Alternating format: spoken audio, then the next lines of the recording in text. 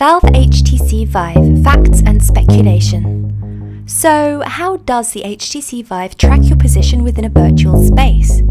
It's different to what we've seen from other headsets currently on the market.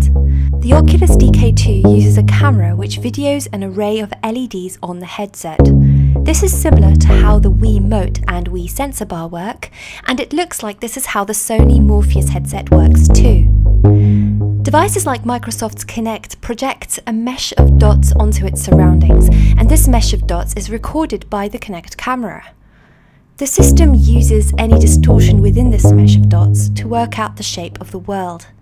This way, you track the position of everything that is in front of the camera, rather like draping a cloth with a regular pattern over an invisible object, and then guessing the shape of the invisible object by looking at how the pattern on the cloth is affected.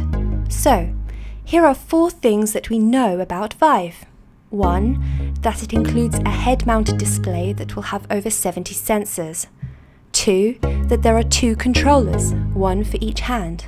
3. That there are two lighthouse laser emitters. And finally, 4. That we know the lighthouse sensors use laser pulses. Right, enough about facts. Now it's time for some speculation. Everything here on out should probably be treated as such based on what we've read and seen so far. Vive's two lighthouse units contain an array of laser emitting diodes. Each laser emits pulses of light. The pulses are used to encode data. Like in Morse code, each laser's pattern is unique. It would encode a message like message from base station 1, laser emitting diode 54, pulse 96, or something like that.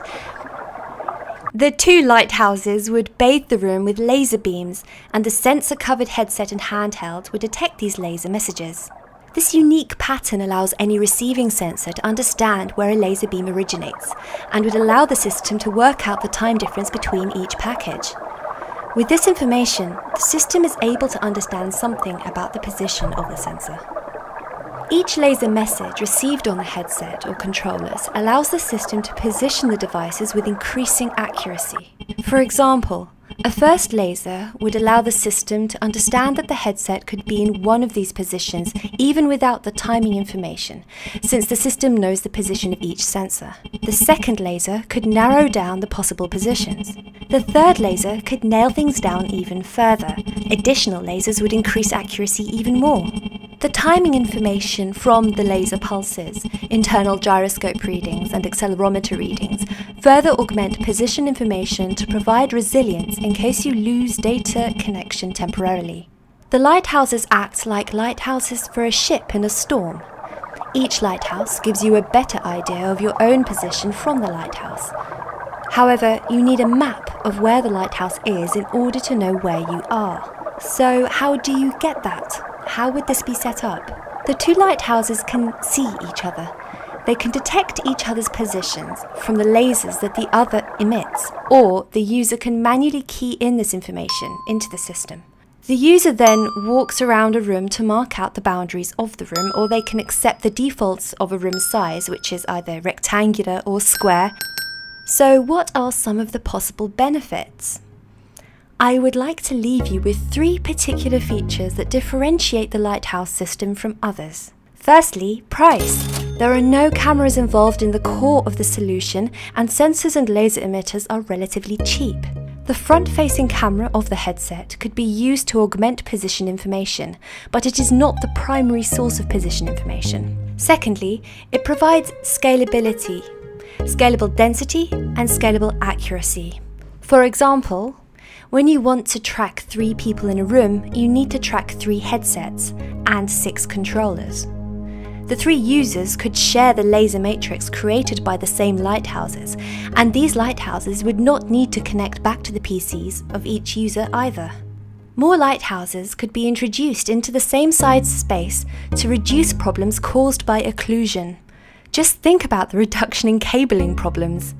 Additionally, you are less constrained in terms of scaling your processing power since each user could make use of their own processing unit, such as a PC, which means that nobody needs to pay for a supercomputer to create a platform for large scale tracking.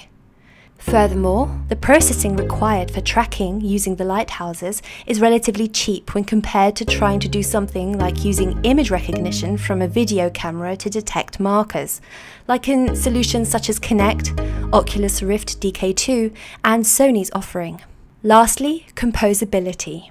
You can just keep on adding lighthouses to the matrix to grow your trackable area. Perhaps there could be a wireless protocol to pass lighthouse based information in between the lighthouses and to the devices that need to be tracked. Perhaps this information can be gathered by a user's device as they walk through the matrix of lasers. Perhaps the lighthouse system detects new lighthouses dynamically, and you just need to throw them down on the ground near the existing matrix of lasers. Perhaps they could have their own power source and would not require wires. Perhaps they could augment their battery life using a user's kinetic energy as they walk by. Perhaps they could use users as a power source.